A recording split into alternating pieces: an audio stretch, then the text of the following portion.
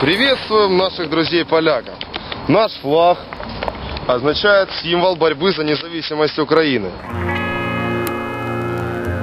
Это наш флаг, символ государства, нашего национального единства. А этот флаг, наш флаг, символ повстанческой борьбы против оккупантов за волю Украины.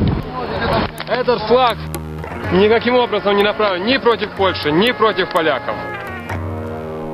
Он появился как флаг только после Второй мировой войны. Те, кто убивал поляков, были убийцы, а УПА сражается за независимость Украины. И мы продолжаем эту борьбу. Еще хочу добавить, что те, кто убивал мирное население, были убийцы. Но украинская повстанская армия сражалась за независимость. И мы продолжаем их борьбу.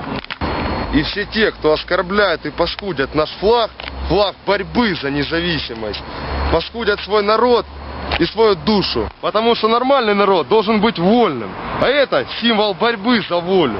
Наши герои, украинцы, отдают свои жизни за ваше спокойствие. Слава Украине! Героям слава!